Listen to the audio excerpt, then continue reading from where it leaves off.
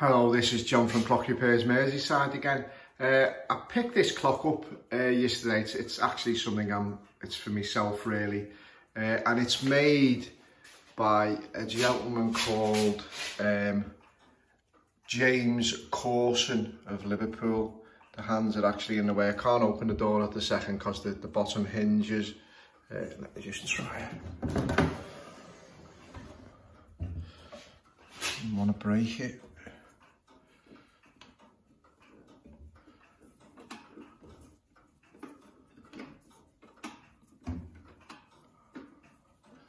Okay, you can you can just see now James Cawson of Liverpool. Um, obviously painted uh, white dial. Um, it's got a moon roller at the top. Now, one of the reasons I bought this clock was obviously, as you can tell by my accent, I'm from Liverpool. Uh, and anything Liverpool, especially in the clock uh, making uh, situation I'm, I'm very interested in. Um, it's, pr it's pretty nice clock. Probably dated around about 1790, I would think. Um, pretty tall, full-size clock, probably nearly eight feet tall. Um, nice, heavy construction, mahogany case, but I'm not sure whether this case is actually with this um, movement. I somehow get a feeling because of the fitting of it that it isn't. Um, pretty telltale signs when there's sort of, if you look, at there's gaps around the edges. I'm sort of feeling um, it's it's not it's not the, the uh, actual case for the clock itself. Um, it's an eight day um, grandfather clock. The case is nice either way. It's a it's a it's a really heavy mahogany uh, case. I think I think that bottom panel has been replaced at some time or it's been added. It might not have had a panel on that, but I think it's been added because it's a different um, wood, if you like. Also, if you you can tell it's quite an early clock. If you open the door, the door has got you know some thickness to it. Um, that's a sign of a, a pretty early clock. Apart from that, it's driven by two weights and obviously regulated by a pendulum. Um, but yeah, it's a, you know, it's, it, the, the real interest for me is, is the Liverpool maker. But also, I'm going to take the, the, the hood off and I'm going to show you the escapements on this clock. Uh, now, it's centre seconds, which is a little bit, you know, you don't get many of them with centre seconds, but this has got centre seconds on it. Um, but, you know, that that's one thing but when I show you the escapement you'll see how they've actually achieved this uh, pretty simply really. Uh, but the, the movement's quite interesting. I've not seen I've not seen one like it before um, but yeah it's it's it's well worth a, a look. But yeah pretty pretty nice nice clock. You've got your glass panels up top there.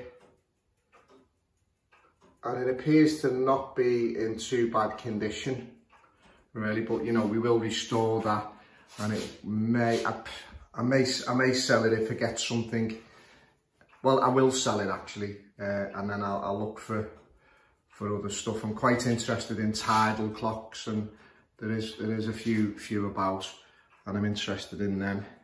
But yeah, that's uh, a pretty heavy Liverpool clock, I think dated from about 1790 um, James Cawson was from the Toxteth area of Liverpool and he, I think his Park Lane, I think his, his, his, his workshops would have been. Um, yeah, he, so he was a, a, you know, a, a clockmaker round at that time. That's as much as I know about him for now. So I'm just going to have a pause for five minutes and then I'm going to take the hood off and I'm going to uh, have a look at the movements. Okay. Okay, right, I'm back. Right, this is the movements on this uh, James Cawson uh, 8-day grandfather clock. As you can see, the escape wheel is mounted on the back of the movement and obviously probably dead centre, that's what's given us our centre seconds. Um, also, it looks to be um, deadbeat rather than uh, you, you know, a, an anchor type escapement. Uh, so, you know, where your hand actually just sort of gives a little jip backwards as, as it moves forward. There's just a little, you know, thing backwards. So it looks to be dead beat, um, which is another, you know, not, not, not totally a, a rare situation, but a bit more unusual.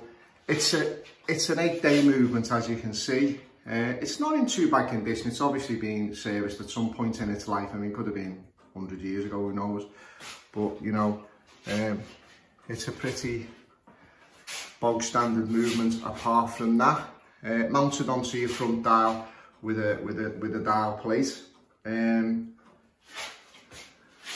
there's actually no markings on the back of the dial. What you've got to appreciate about a, a lot of these uh, grandfather clocks is, I mean, I know there's always talk of marriages and, and it's always fantastic to actually, you know, be 100% certain that a clock is is of one, i.e. case, dial, uh, everything is all, it all goes together as one. But it's not as easy to find because as you as you've got to appreciate these clocks have been around for a couple of hundred years or so and so it's going to be quite difficult to be 100% certain unless obviously you've got the total history of the clock but you know you're never gonna um, you're never gonna always be able to 100% guarantee that um, the other thing about it as well is that it really depends on the type of marriage it is. I mean, I know it's it's it's most definitely a more worthwhile if you can get something that you know you know it's it's a hundred percent. But you know, there's bad marriages and good marriages, just like in life. I mean, you know, sometimes we see clocks and you know it's it has been, it's been thrown together. It's probably never mind two clocks. It's probably about four clocks. I mean, and they've just been thrown together and and they're not very good at all. I mean, they they they they're not they're horrible. Um, there's gaps everywhere. Um, the case totally doesn't go with the maker at all. Um, a lot of things like that. I mean, there's other telltale signs on this particular clock that the case is not with the with the actual uh, movement is you know wedges bits of wedges here um, that could have been that this these shoulders if you like, they've rotted away and, you know, they've had to be replaced, you know, bits and pieces have had to be replaced. That, that may be one, one idea, but then you go to the other side, might have been cut down. There is, if you look in this corner, you can see, you know, it's definitely been reduced for some reason.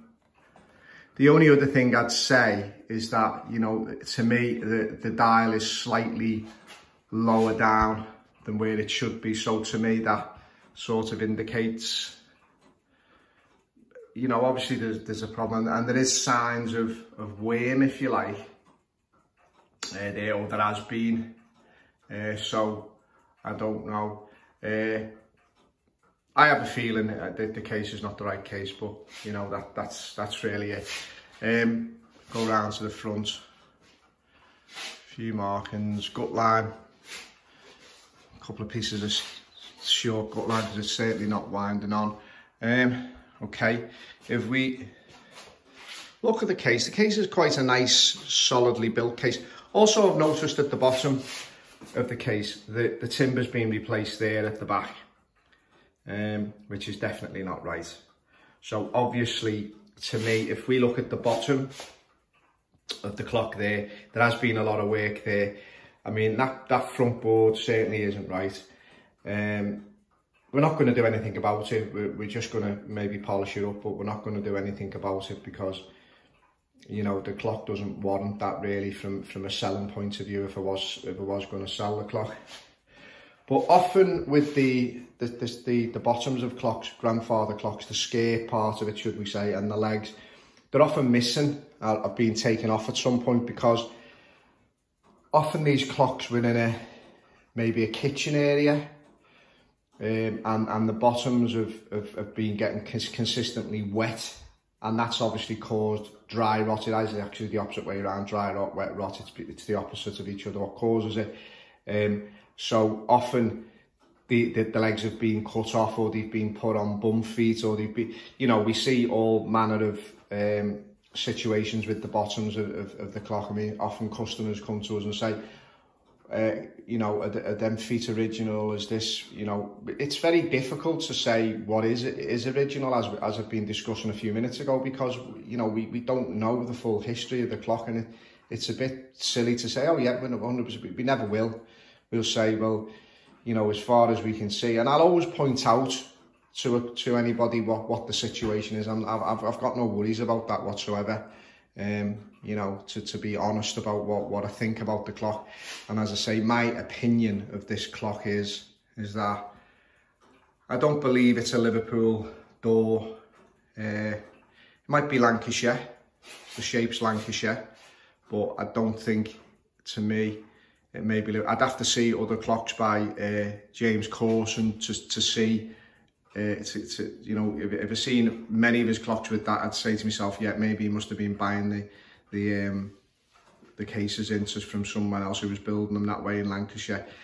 Quite unlikely. Normally they would use a, a, a, a cabinet maker in the area and so you know everything they, they had control over a lot of things so they'd know the way it was. But yeah, that's that's a James Cawson eight day uh, tall mahogany, I think, grandfather clock. Um, as I say, not not in in, in reasonably decent condition until we get down to where the skating area is, and then it's um, it starts uh, showing up its its its issues. Uh, unfortunately, where I bought it from, I didn't actually notice this. It was quite dark, so you know, should the the lesson there is to take a torch, isn't it?